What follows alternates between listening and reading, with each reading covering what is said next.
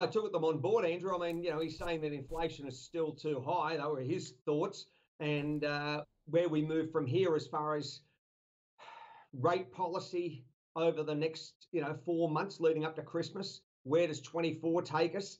And does, do we see a continual downtick as far as uh, CPI? The uh, the inflation story gets better, not worse. These are all the thoughts that uh, I think Jay Powell and his team are uh, concentrating on. And the market's taking that to say, well, you know, what's happening with US dollar, the impact as far as yields. And uh, yeah, it's quite, I think it'll be quite an interesting week. Yeah, what, what did you make of the market reaction to what he had to say? Because certainly equity markets sort of gyrated and then sort of rallied into the close. And also yeah. those treasury yields did move higher. Treasury yields up, yes, and absolutely right. As far as um, Saturday morning's close here, you know, the Dow was up and it was bid up well, you know, and I'm looking at the NASDAQ nearly up 1%. That US dollar index, Andrew, it's certainly smashed through 104. It's now 104.15. So it's had a really strong move, and I wouldn't be surprised that it's further upside yet because it, it got through the 103.80, 103.90 barrier. Um, it smashed through, and possibly you're looking at 104.50 by end of month. Yeah, of course that comes ahead of what we're going to get this week, certainly out of the States, with uh, we'll get the, the key uh, GDP numbers, but I guess more importantly, as far as markets are concerned, looking forward, is those jobs numbers.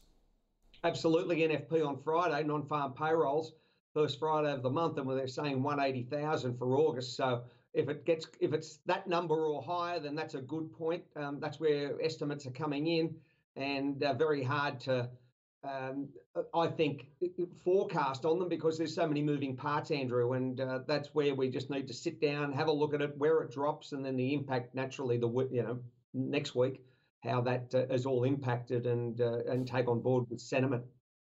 Many market observers talking about this Goldilocks zone that the US is in at the moment, where you're seeing that economic strength, the jobs market remaining solid, and inflation coming off. What, what do you What's your interpretation of what you're seeing in the States at the moment, Pete? Well, you've got to agree with it. I mean, you know, the equity markets over the first eight months, Andrew, have been electric, and so you, you put that to bed at the end of August and say, wow, you know, if you if you're on the 31st of December to where it is today, it's certainly dramatically improved. There's that, that's a good point. The second point is yes, inflation keeps on coming down, and so you've got to say, well, maybe they've got that under control. But as we know, a lot of US firms earn big proportions of their income externally outside the United States. You only got to have a look at the likes of China and what's happening with Germany and Eurozone.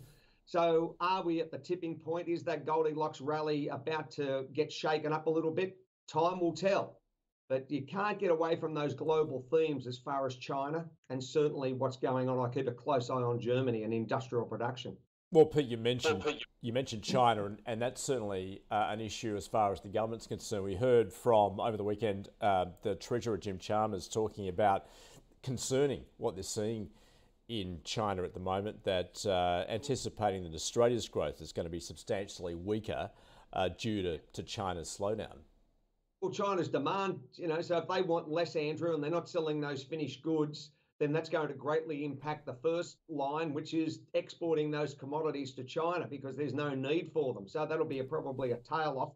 We've had big numbers for iron ore this year, you know, record numbers. So maybe it's just, you know, the, the market cycle. Uh, the property sector is of much concern to China and how they um, how that all unwinds and who's holding the debt. Someone's equity is another man's debt. So we've just got to see how that uh, materializes. I think you know, September, October could be very telling months. Yeah, and we're going to get uh, some further data there to uh, PMIs out of China this week. So I guess a further yeah. indication of where the economy is going. But there's also that ongoing frustration among markets that, that they're just not seeing enough stimulus in China at the moment. Well, that's exactly right. And, you know, they're sitting on their hands to some extent, but it's a very delicate situation. So, you know, again, how do they manage forward? You could, you know, you could write a thesis on it and that's something I think all day traders need to be conscious of. You know, what's happening in China and do your research, uh, understand those big moving parts, and then appreciate, you know, who's holding international debt, the domestic banks there, and of course the industrial demand externally those uh, countries and you know are you buying a new fridge am i buying you know a new microwave all of that all of those sort of things. Uh, that's a global concern. How's this playing out in regards to commodity prices at the moment, Pete? Um, iron ore remaining what's what close to around 110 US dollars a ton at the moment. Yeah. Yeah, it's well down. I mean, well, it's it's bit up, but it's well down from those highs of the 160s and the 170s. So there's that thought. So it, it seems to be a, a fairly choppy. Uh, crude sitting at that 80 to 85 dollar channel. Uh, we haven't seen any dramatic move. Copper is a wonderful barometer, Andrew, and that's still at 8300. Uh, so I'm, I'm not sure whether you're going to see a lift off across the base metals anytime soon. And uh, as far as iron ore is concerned, possibly, you know, 110, 120, that 100 to 120 sort of bandwidth might be where it, uh, it oscillates between. And crude, well, that's a different story. I won't be surprised to see it edge up from here.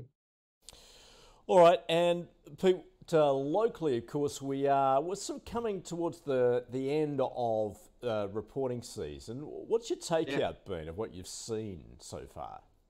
Well, you've got to look at the market, Andrew. I mean, it's pretty pretty strong. It's it's performed quite well considering it's it hasn't been a Nasdaq this year, but it, it certainly uh, uh, under the circumstances, I think it's relatively strong.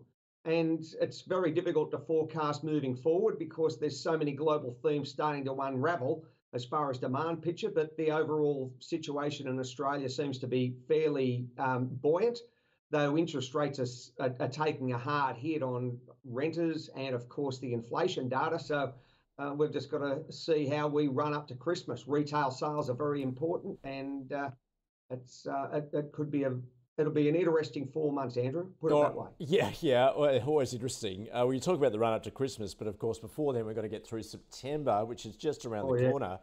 Uh, historically, of course, uh, globally, and perhaps more specifically in the US, September tends to be, on average, a down month. Yeah, it does, and uh, we all understand that. So we've just got to see. We've had a big eight months, and maybe it's you know some of that hot air is going to come out of the market. Um, it's just we've just got to see how it rolls, and it's very difficult. You've got to have a look at the VIX, have a look at uh, you know put options, protect your positions, strategies, all of those sort of things. People have got to be conscious as far as hedging, and uh, yeah, be just do your homework, and um, yeah, don't sit on your hands and say it's to, going to go up.